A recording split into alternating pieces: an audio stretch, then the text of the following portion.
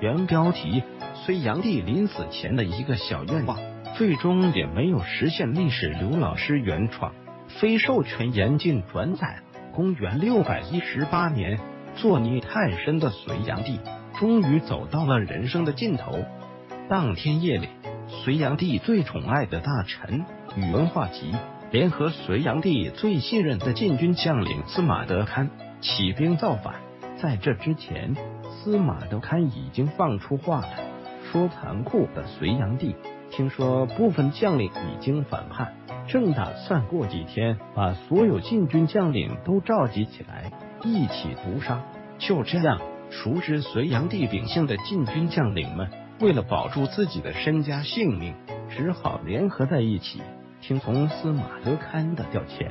半夜时分，江都城内外火光通天。那是城外驻军和城内守军里外相应，共同举起火把的原因。然而，当还在逍遥作乐的隋炀帝看到这一异样景象的时候，也向身边的武将提出了疑问。但是，隋炀帝如同傻子一样，被轻而易举的给忽悠了过去。武将告诉他，外面之所以火光冲天，是因为城外着了大火。相信此时城内外的大军正在营救。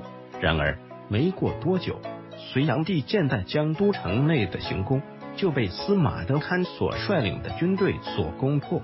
原本隋炀帝为防止意外而精心训练的数百精锐将士，也被早已被司马德堪所收买的隋炀帝贴身太监假传圣旨，让他们临时休班了。数万名士兵的哗乱之声。让隋炀帝也意识到了事情的真相，一定是有人造反了，绝对不是城外失火那么简单。意识到危险之后，隋炀帝第一时间做出了反应，而且还非常的靠谱，脱下龙袍，换了一身他人的衣服，逃出了自己所住的宫殿。原本按照隋炀帝的计划，逃出去的可能性还是非常大的，但是不曾想到的是。很快，隋炀帝就被一个想要活命的宫嫔所出卖，指出了他所逃跑的路线。于是，隋炀帝很快就被士兵所抓获。为了活命，隋炀帝谴责宇文化及、司马德堪等人恩将仇报，自己这么多年来始终对他们信任有加，而且让他们位居高官，享受着无尽的荣华富贵。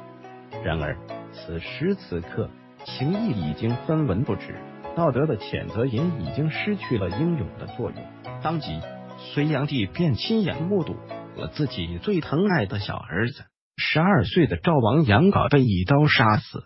虽然隋炀帝非常的愤怒和悲伤，但身为皇帝的他，此时此刻却也无能为力。很快，他连悲伤的想法也没有了，因为对方已经再次举起了屠刀，对准了自己。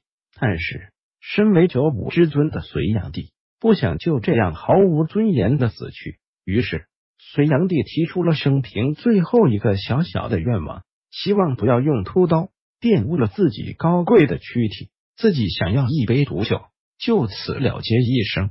然而，隋炀帝这么一个小小的愿望，最终也没有实现。最后，隋炀帝听从叛军的安排，坐在了地上，然后。